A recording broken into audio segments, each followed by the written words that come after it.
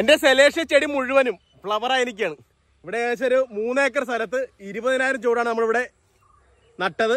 അതിൽ പതിനയ്യായിരം ചൂടും നല്ല ഫ്ലവർ നിൽക്കുന്ന ഒരു സമയമാണ്. ഇപ്പം നമ്മളിത് ചെടി നട്ടിട്ട് ഏകദേശം ഒരു അറുപത് ദിവസം മിനിറ്റിരിക്കുകയാണ് ഇപ്പം നല്ല അടിപൊളി ഫ്ലവർ ആണ്. ഇത് കണ്ട? അതിന്റെ ഭംഗി നോക്കിയാൽ കണ്ട അതെ? ഇത് കണ്ട?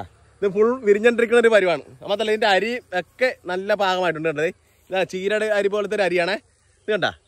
അപ്പോൾ എല്ലാവരും ഈ ചെടി ഒന്ന് ട്രൈ നോക്കണം. വലിയ പരിചരണം കൊടുക്കാൻ ഒരു ചെടി കൂടിയാണ്. അതായത് എല്ലാ വീട്ടിലും പണ്ടൊക്കെ ഉണ്ടായിരുന്നതാണ്.